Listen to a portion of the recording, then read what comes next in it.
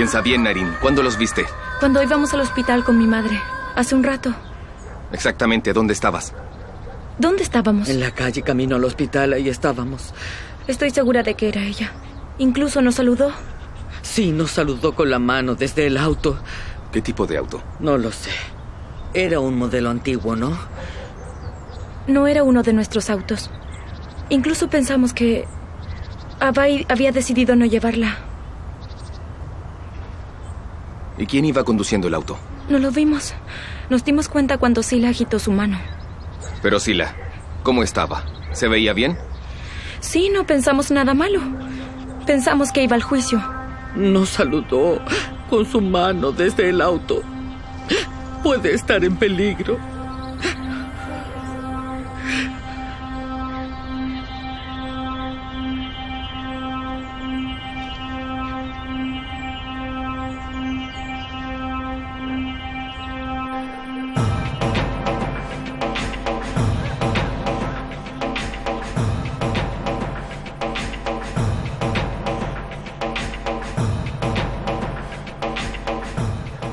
Van a pagar por esto.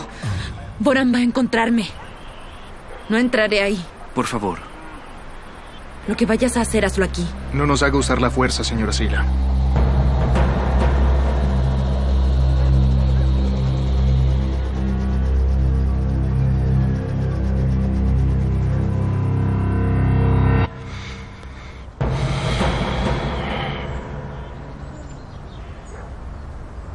¿Cómo sucedió esto, papá?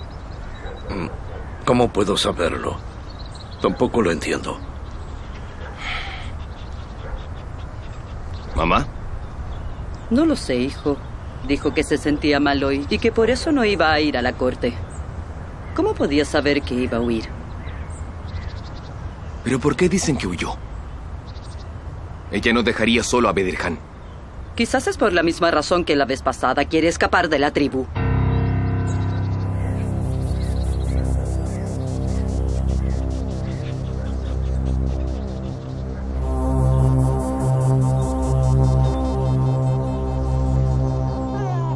Está bien, Bedirhan. Tranquilo. Tranquilo.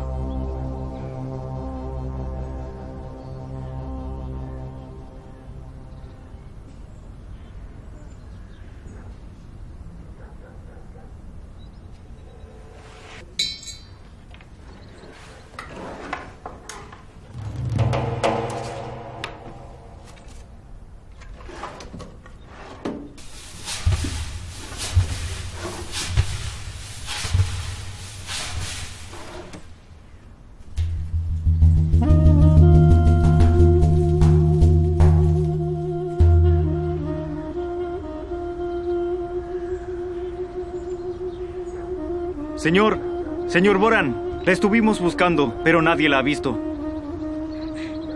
Hermano, ¿Qué pasa, Narin? Vamos, Narin, habla. las cosas de Sila desaparecieron.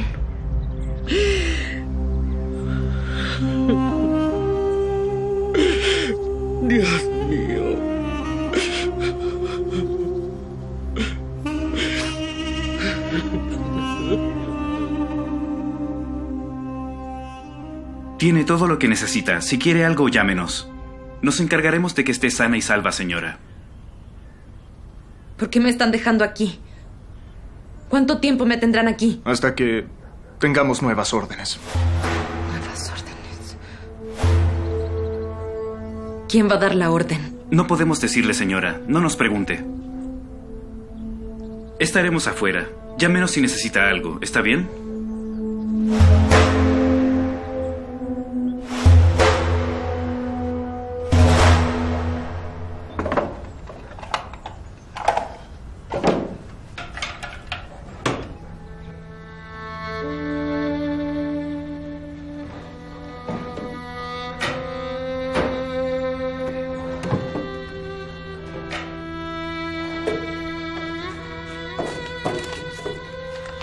¿Viste su pasaporte? No. ¿Está ahí, no? Siempre lo guarda aquí. ¿Dónde fuiste? ¿Dónde? Entonces, ¿de verdad escapó?